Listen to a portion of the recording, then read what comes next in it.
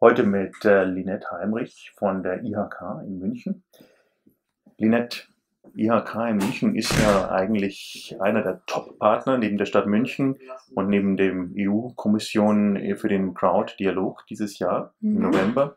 Wie ist denn deine Erfahrung im Laufe eines Jahres zum Thema Crowdfunding und natürlich auch im Hinblick auf die Regulierungen, die jetzt gerade dieses Jahr auch in Kraft getreten sind?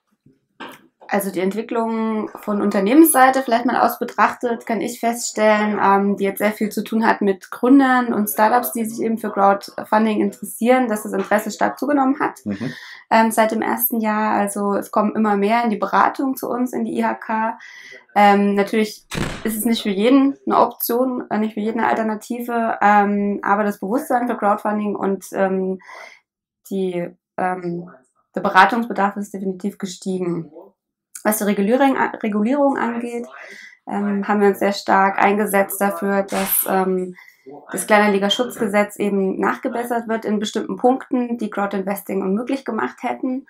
Ähm, das ist uns eigentlich auch sehr gut gelungen. Also wir sind hier über den Deutschen Industrie- und Handelskammertag gegangen ähm, und die kritischen Punkte, wie zum Beispiel ähm, die Obergrenze und das Werbeverbot ähm, für, für Crowdinvesting-Angebote wurden eben nicht so realisiert, wie sie am Anfang gedacht waren. Und da sind wir eigentlich sehr froh, dass wir hier das Schlimmste mit abwenden konnten und sind da eigentlich zufrieden mit dem Ergebnis. Ja, ja. Von der Summe vielleicht, äh, wenn du, wenn du mal siehst, sind da mehr äh, Leute gekommen in die Beratung Mhm. und sich ähm, interessieren sich mehr dafür? Ist es mehr eine Anschlussfinanzierung? Ist es eine Erstfinanzierung? Es ist in den meisten Fällen ähm, tatsächlich eine, eine Erstfinanzierung. Also es Mhm. geht sehr häufig um Produkte, die eben ähm, produziert werden müssen und da einfach um die Liefer- Produktionskosten zu stemmen. Da interessieren sich viele für Crowdfunding, allerdings auch nicht nur wegen des Finanzierungsaspekts, sondern ähm, ganz besonders auch wegen der, der Marketing.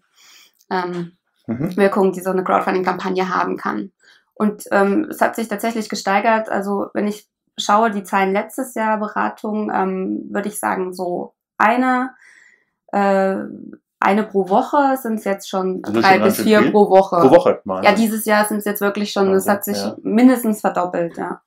Okay, super. Es gibt natürlich auch gewisse, sag ich mal, Peaks, ja. Ja, also wir haben ja eine Veranstaltung, Crowd Crowdfunding Ja. Night, äh, die wir vierteljährlich machen. Danach kommen natürlich auch immer sehr viele dann in die Drei Beratung. bis für die Woche, das sind ja 150 Beratungen. Weil viele, ja, ja, viele wissen ja auch erstmal nicht, dass die IHK das überhaupt anbietet. Ja. Und wenn die das dann über Dritte erfahren oder eben über uns direkt erfahren, dann nehmen auch viele das Angebot in Anspruch und gehen dann eigentlich auch immer ganz zufrieden raus. Also zumindest für eine erste Orientierung und einfach zu entscheiden, ist es überhaupt für mich eine Option oder nicht. Super, vielen Dank. Wer noch mehr erfahren möchte von äh, Linette und natürlich dem, was die IHK München Tolles macht, einfach auf die IHK-Webseite gehen und wer Linette dann live erleben möchte, auch am 26. November ist sie beim Crowddialog in München mit dabei unter www.crowddialog.de. Vielen Dank ja. und noch viel Spaß. Ich freue mich drauf. Danke.